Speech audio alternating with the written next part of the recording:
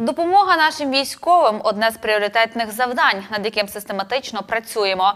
Так, сьогодні разом з колегами рішенням виконавчого комітету Мукачівської міськради виділили кошти з місцевого бюджету на забезпечення обороноздатності підрозділів сектору безпеки.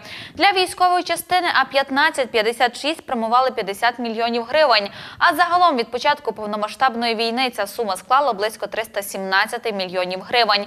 Інформує на своїй сторінці в соціальній мережі Фейсбук секретар Мукачівської міської ради Олександр Горячкун.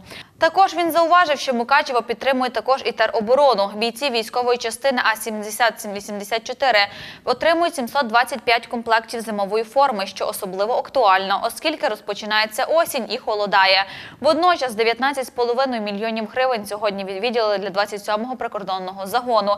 Для правоохоронців 11 мільйонів, СБУ 2 мільйони, ДСНС 6 мільйонів гривень, військомату 3 мільйони гривень. Такі рішення важливі, адже підрозділи використовуватимуть ці кошти відповідно до потреб, аби ще підвищити ефективність роботи.